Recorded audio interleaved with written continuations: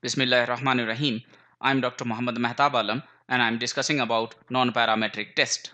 This is the third type of non-parametric test called Wil Wilcoxon match pair sign rank test. This is the third type. We have already discussed about two type of non-parametric test. Mann-Whitney U-test is a non-parametric alternative to the t-test for two independent sample.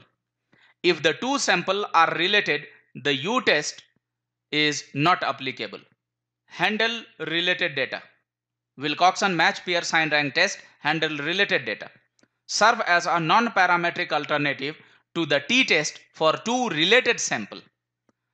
A non-parametric alternative to the t-test for related sample before and after studies when you are comparing before and after studies you can uh, use wilcoxon match pair sign rank test this is very important studies in which measure are taken on the same person or object under different conditions and studies or twins or other relatives differences of the score of the two matched sample it needs difference of the score of the two matched sample. Then difference are ranked ignoring the sign. Rank are given the sign of the difference. Positive rank are summed, negative rank are summed and T is the smaller sum of the rank. Sample size con consideration for Wilcoxon test.